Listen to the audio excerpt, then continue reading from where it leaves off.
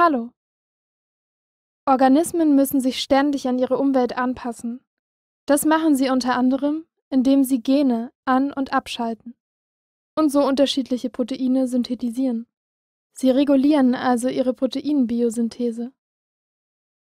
In diesem Video geht es um die Entschlüsselung der Proteinbiosynthese.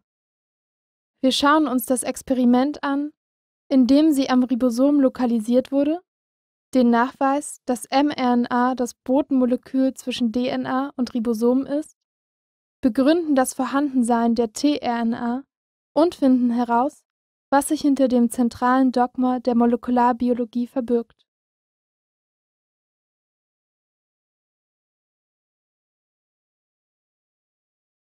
Beginnen wir mit dem Experiment zur Lokalisation der Proteinbiosynthese.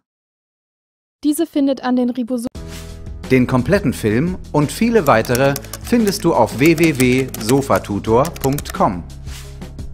Über 7000 Lernvideos erklären dir, was du für gute Noten wissen musst. Tests überprüfen dein Wissen nach jedem Video.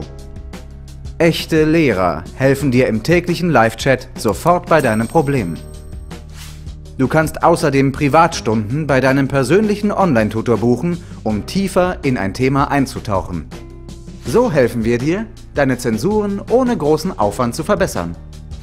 Probiere es am besten sofort aus auf www.sofatutor.com.